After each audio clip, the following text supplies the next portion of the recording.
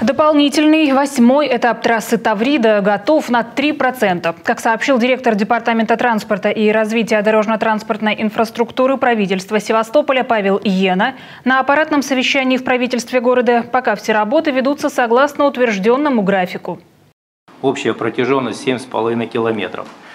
Контракт заключен на строительно-монтажные работы. Срок окончания работ по контракту – декабрь 2023 года. Вторым важным объектом Павел Иена назвал фактическое продолжение трассы Таврида – многострадальное Камышовое шоссе. Работы на 6-километровом участке также идут без каких-либо осложнений, но с очередным сдвигом сроков. В апреле планируем приступить к укладке верхнего слоя асфальта.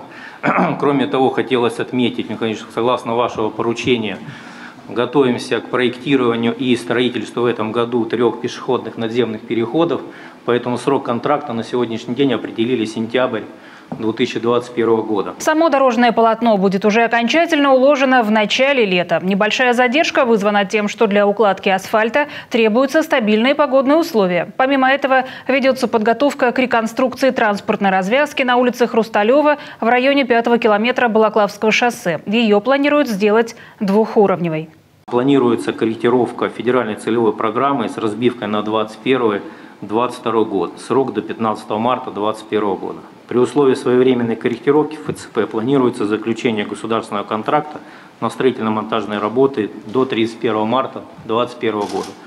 Основной период строительства – август 21 декабрь 22 года. Окончательно сдать объект власти намерены в декабре 2022 года. В 2021 также планируют завершить проектно-изыскательские работы и создание подъездов к строящимся социальным объектам, к детскому саду и школе между проспектом генерала Острякова и Максимовой дачей, к детскому саду на улице Шевченко и к школе в районе бухты Казачьей. Всего на 2021 год запланирован капитальный ремонт 18 15 объектов, на что потратит полтора миллиарда рублей из средств правительства Москвы и текущий ремонт 39 автомобильных дорог.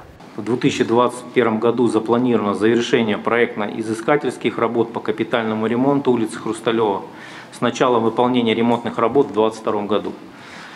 Также начало в этом году планируем приступить к проектированию 5 а, километров Балаклавского шоссе мыс Фиолент, так называемое Монастырское шоссе, и Севастополь, порт Камышова бухта, мыс Фиолент, это Фиолентовское шоссе.